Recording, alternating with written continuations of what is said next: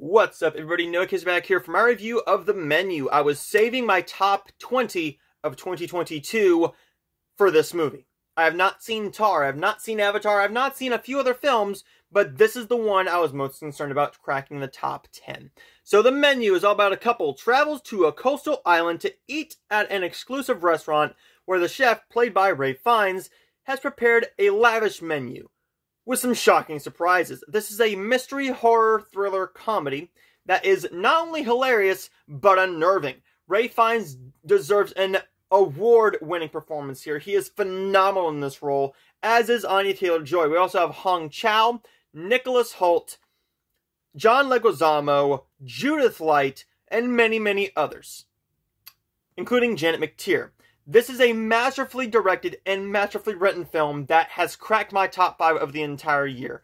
It's now number four. A little bit of a spoiler, but one of my top three you'll have to see when I get to that list up next. The Menu is a phenomenal film that delivers on the not only comedy but unnerving task of delivering food, but also having a chef who is not only intimidating but also weirdly funny. And you feel for him as well because you get him a bit of a backstory about why he is like this what happened, and you get backgrounds be, uh, behind each of the dishes, including what goes into them, including one that involves a great comedic scene while also delivers the well-known feeling that many, many chefs have felt, many, many cooks and chefs have felt while trying to get a job at a restaurant. One, you are unnerved because you have multiple people watching you if you're in the right restaurant, but also the head chef is watching you to potentially give you a job here. This is a unnerving film that delivers beautifully done performances that not only unnerved me but made me really, really laugh hard with beautiful cinematography, masterful costume design, especially for the dress of Anya Taylor Joy's character named Margot.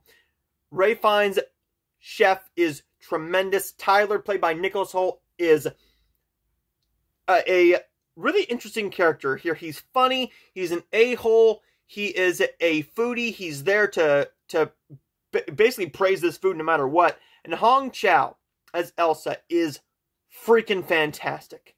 I loved almost everything about this film. There was a couple scenes I thought you could have cut out of this film, but besides that, a masterfully done film. One of my favorite films of the entire year. I'm going to end up giving this an A. I loved the menu so, so much. Cracked my top five of the entire year. I will show you guys next time for my top 20 films with some honorable mentions of 2022, and then my top 10 worst of 2022. I will solve you guys next time.